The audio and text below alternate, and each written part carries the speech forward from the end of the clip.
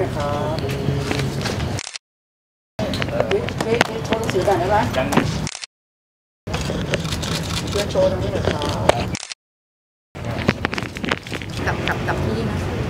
ก็ครับก็มันก็เป็นแนวทางที่เขาปฏิบัติกันครับ คือในเรื่องของการเป็นประชาธิปไตย แล้วก็ในเรื่องของการเอ่อเรียกร้องของสโมสรสมาชิก ซึ่งเป็นผู้มีส่วนได้เสียอ่อเอ่อ ของสมาคมหรือง่าย ๆว่าก็เป็นสมาชิก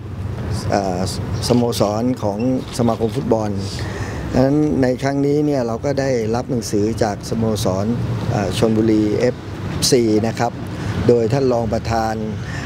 สโมสรท่านอนนบสิงห์ทอทองได้ยื่นมา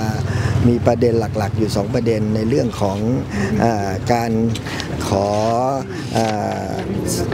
ทราบถึงกำหนดการวันเลือกตั้งในวันที่ 15เนี่ยจะเกิดขึ้นที่ใดและเวลาเท่าไหร่นะฮะเป็นประเด็นที่ 1 ส่วนประเด็นที่2เนี่ยมีจำนวนสมาชิกที่มีสิทธิ์ลงคะแนนเสียงกี่สโมสรครับก็เป็นประดักประเด็นหลักๆ แล้วก็อยากจะทราบภายใน 7 วัน เพื่อที่จะเป็นแนวทางในการเลือกตั้งในสมัย หน้าอย่างอ่าบริสุทธิ์และยุติธรรมครับสรุปว่ายังเลือกตั้งได้วันที่ 15 มิถุนายนก็ก็ขอขอรอวันนี้นะครับ ขอรอวันนี้นะครับนะฮะวันนี้ก็วันนี้ทราบครับนะครับว่าจะเลือกตั้งได้เมื่อไหร่อ่าครับผมครับผมแล้วจะมีที่ตอนแรกบอกว่ามีข่าวว่าจะคุยกับทางกกทด้วยทางสมาคมครับครับวันนี้ครับวันนี้ครับวันนี้ครับ วันนี้ครับช่วงไหนครับ ก็เดี๋ยวดูฮะ นะครับ วันนี้ครับวันนี้รับทราบครับนะฮะแล้วเรื่องนี้ก็คงจะต้องให้นายกเป็นคนแถลงนะฮะนะครับวันนี้จะมีการประชุมสภากันครับมามีการประชุมกันฮะมีการประชุมแต่ไม่ได้ประชุมสภาครับนะครับอ๋อประชุมส่วนตัวครับครับนะครับ ขอบคุณนะครับ วันนี้นะฮะวันนี้ฮะท่านนายกจะเป็นคนเอ่อแถลงนะครับนะครับครับผมอะพี่เอกพูด พูดเสมอนะว่าที่เข้าใจกันก็คือ 15มิถุนาในการเลือกตั้งครั้งต่อไป ก็อยากจะรู้ว่าเวลาอะไรสถานที่ใดนะฮะก็อยากให้กระชับขึ้นมาอีกหน่อยหนึ่ง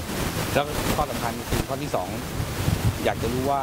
สโมสรสมาชิก ตอนเนี้ยที่มีสิทธิ์เลือกตั้งเนี่ยมีทั้งหมดกี่กี่กี่คะแนนแน่ แล้วก็อยากให้ประกาศว่า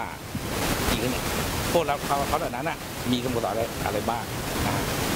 จำนวนอาจจะร้อยแปดสิบสองร้อยหรือร้อยห้าสิบก็ให้ประกาศมาเลย เขาจะได้เช็คสิทธิ์เขาได้เหมือนกับการเลือกตั้งทั่วไปนะฮะว่าเช็คสิทธิ์ก่อน ถ้าเขาขาดเหลืออะไรตกหล่นไง เขาได้ทวงทวงถามได้ตั้งถามได้ ก็อยากจะต้องการแค่นั้นเลยก็บอกบอกในรายรายละเอียดจดหมายนะฮะขอเจ็ดวันนะฮะเพราะว่ามันก็ใกล้ถึงถึงเวลาอีกแล้ว มันก็อยากจะ ทุกคนอยากอยากรู้ว่าตัวเองมีสิทธิ์ไหมถ้าไม่มีสิทธิ์เพราะอะไรจะได้ทวงทวงถามกันนะฮะอยากให้การเลือกตั้งครั้งเนี้ยมันสร้างความชอบธรรมให้กับตัวนายกทั้งนายกใหม่หรือหรือนายกเก่าก็แล้วก็อยากให้ประชาชนคนไทยที่รักฟุตบอลไทยอะอืมหายเครือบแคลงสงสัย ทุกอย่างเนี่ยผมว่ามันโปร่งใสแล้วมันสะอาด ทุกคนก็ยอมรับได้ได้หมด อย่าให้เหมือนครั้งที่ผ่านผ่านมา ผมว่าสังคมก็คงจะ เออคิดเองว่าแค่เนี้ยตอบให้ไม่ได้หรือไงนะฮะผมว่ามันมันเบสิกพื้นฐานนะไม่ใช่เออเรื่องยากนะฮะว่าณตอนเนี้ยคะแนนน่ะก็น่าจะกกกกทแล้วรู้เรื่องแล้วนะฮะก็ต้องให้กกทรับทราบก็น่าจะประกาศให้ให้ทุกคนรับรู้แล้วก็อยากให้การเลือกตั้งครั้งนี้ยมันมีในสิ่งที่ทำแล้วก็ตัวผมเองผมก็อยากให้ แฟนบอลชาวไทยทุกคนหรือกกทหรือสโมสรสมาชิกเขาสบายใจว่าขั้นตอนการคัดเลือกนายกซึ่งเป็นตำแหน่งสูงสุดในวงการฟุตบอลเนี่ยมันมันโปร่งใสแล้วก็สร้างความชอบธรรมให้คุณให้ตัวนายกด้วยพี่นพคิดไงที่ว่าเขาจะเอาธรรมนูญฟีฟ่าเข้ามาเข้ามาใช้ในการเลือกตั้งผมว่าทำนูนฟีฟ่ามันก็อีกเรื่องหนึ่งฮะแต่ว่าถ้าเราดูเมื่อ วันที่ 31 มีนาที่ผ่านมาในการประชุมใหญ่ สโมสรสมาชิกเข้าร่วมประชุมเนี่ยประมาณร้อยเศษร้อยสามหรือร้อยห้าเนี่ยเอ่อวันนั้นวาระอื่นๆ ซึ่งยื่นเรื่องธรรมนูญฟีฟ่าใหม่เนี่ย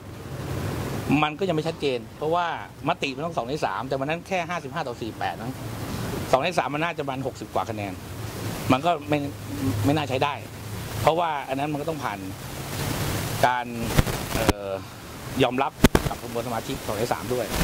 แล้วผมมองว่าคะแนนตอนเนี้ยช่วยขอคองอซึ่งคนว่าไม่มีหลักการหรือว่าเป็นสโมสรเล็ก ๆ เนี่ย แต่ผมอยากจะบอกว่าสโมสรเหล่านี้เขาก็ได้เสียค่าธรรมเนียมค่าบำรุง ตั้งแต่ต้นปีแล้วในการที่จะลงสมัครเล่นเพื่อขอคองอเหล่านี้ สมาคมก็ไม่ได้บอกไว้ก่อนว่า ถ้าคุณเล่นสมัครเล่น เสียค่าต่างๆ ใช้จ่าย เช่นค่าเสื้อผ้าค่าส่งแข่ง ไม่ว่าแมตช์สองแมตช์หรือว่าจนจนชนะเลิศเขาเหล่านั้นจะไม่มีสิทธิ์สมาคมควรจะบอกก่อนล่วงหน้าทั้งหนึ่งปีสองปี ให้เขารู้ว่าเออถ้าเขาเล่นนะ ได้แชมป์กับรองแชมป์ก็ถึงมีสิทธิ์ถ้าคุณตกรอบคุณไม่มีสิทธิ์ผมว่าไม่เป็นการไม่ยุติธรรมกับทีมขอคองอเหล่านั้นนะแล้วผมว่าน่าจะบอกกล่าวก่อนหนึ่งปี หรือสองปีให้ให้ให้เขารู้ แต่นี่เขาทำเสร็จทุกอย่างหมดแล้วกระทั่งเล่นแล้ว ได้แชมป์รองแชมป์หรือจะตกรอบแรก เขาผ่านการกระบวนการทุกอย่างของสมาคม มันเสร็จเรียบร้อยแล้วแต่ถึงเวลาจะตัดสิทธิ์เขาว่าผมว่ามันไม่ยุติธรรมนะอยากจะสร้างความชอบธรรมแล้วก็เรียกร้องความยุติธรรมกับเพื่อขอคองอเราเหล่านั้นด้วย โอเคครับ